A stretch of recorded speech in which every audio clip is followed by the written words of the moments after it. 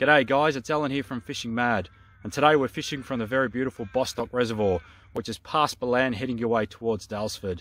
Now I was fishing here a couple of years ago and the water levels were extremely low so it's really pleasing to be back today and see those water levels at a really healthy state and what's even better is that this system has been heavily stocked with rainbow trout over the last couple of years and particularly this month fisheries has come down and I think released 7,000 rainbow trout which is fantastic news for anglers. Um, we're just bait fishing today. I'm with a couple of mates. One's got a pretty serious injury, so we can't walk around and flick lures. So we're resorting to bait.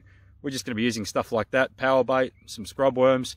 There's trout in here. There's redfin in here. There's a lot of small fish, but I've also seen some pretty big thumping trout pulled out of here in, over the last couple of years. So stick around. Hopefully we get onto a couple of decent fish. We've got roach, we've got carp, rainbow trout, plenty of them seen some big, big brown trout pull from here. And then we've also got redfin, it's probably your most common catch here, eel,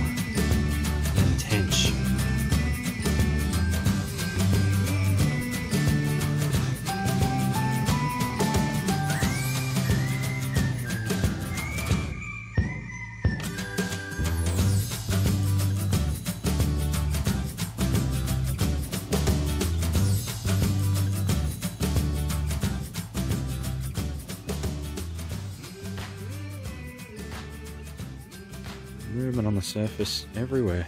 Look at that, right in front of us. All I'm using today, guys, is just my light spinning outfit. It's a two to four kilo rod. And then just sticking to the same things that I've been doing a bit lately. Nice little running sinker rig. And uh, how good's that for bait? Just a couple of scrub worms on a really size small, size 8 hook. Generally pretty dynamite combination for redfin and trout.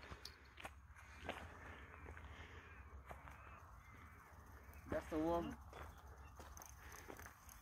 Oh, got a little bit of weight. Yeah. The small one. What do I do? Just Yep. That's all right. Lift him up. Not bad. Good start. It's actually a nice fish. Yeah. Yeah. Well done, mate. Thank you. You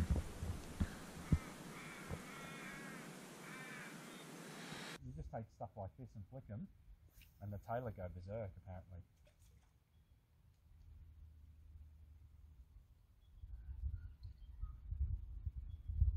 Yep, yep. Yep.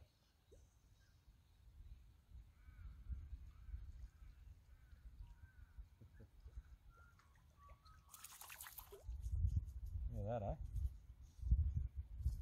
I quickly flicked across over to the lures just because the baits aren't getting a touch. I've been here for about an hour. I've only caught one redfin and just getting uh, little trout fingerlings, uh, one after the other now, just on some uh, some metal spoons. So uh, so when you consider there's been 7,000 of those stocks, so just think of how good this system's going to be in a few years' time. So uh, let's get this guy back in the water.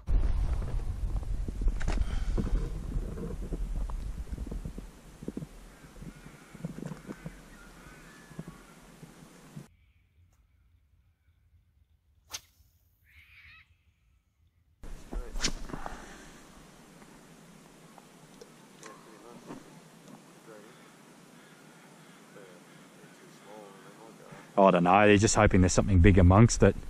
It's not going to be the little ones that'll take it. Oh, yep, yep.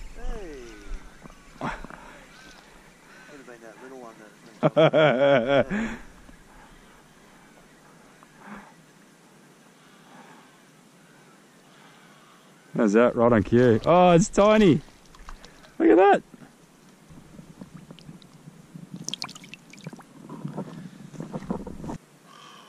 Had a tap then again.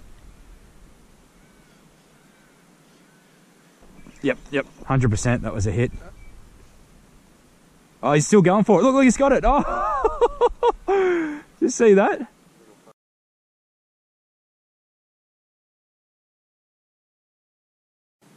Yep, yep. Yep.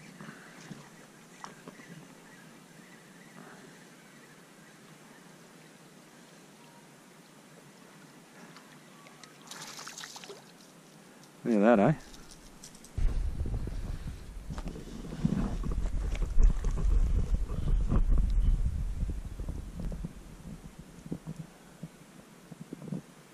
There you go, bud.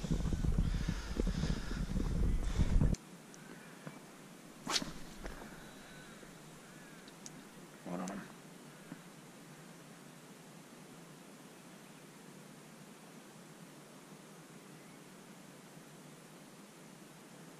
Yep, yep, yep. Feels a little bit bigger. Oh, maybe not, but no, it's a little guy. They're laughing.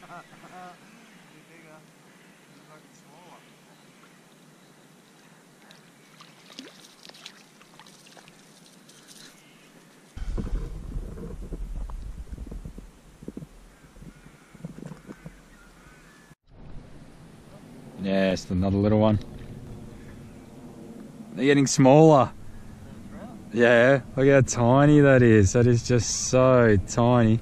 Just to give you guys an idea of how small some of these trout fingerlings are. Look at that. That's a five centimeter bullet lure, and that's a real life rainbow trout that we're going to put back in the water. And there ain't much difference between them.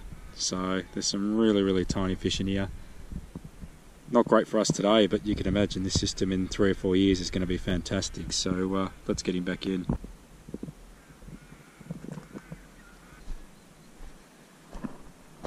I think at one stage this would have been probably all underwater here.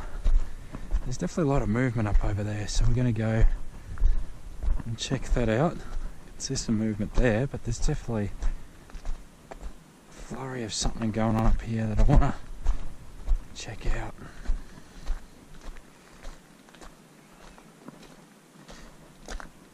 Definitely want to uh, have my eyes open for.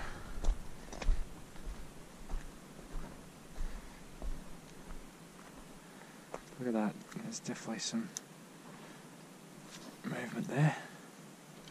That's a good cast right over the top of them. And see if we can go through.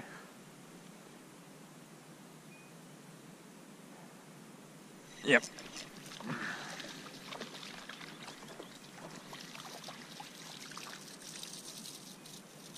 There we go. So there's another. Again, it's that movement. Right, here's another one. Beautiful rainbow trout. And that's definitely a little fingerling that's just been stocked. It's pretty shallow water there. Look away he goes. Beautiful. Alright guys, I've been here for a couple of hours. It's been pretty tough going. We haven't had a lot of hits on the baits other than these couple of reddies. Certainly not big ones. That one's probably just in the low 30s and that one's just a little bit smaller. And I've caught a lot of the uh, small trout fingerlings just flicking some soft plastics and some uh, little metal spoons. But uh, so look, you can obviously catch fish here. Has been a tough morning, but hey, that's fishing sometimes. And at least we've caught a couple of fish and got to see a really beautiful part of the world. Great place to bring your family. There's gas barbecues and open grounds for picnics and, and obviously uh, some fish you can catch. So uh, get out there and get fishing and check your local uh, trout stocking programs too, guys. Cheers.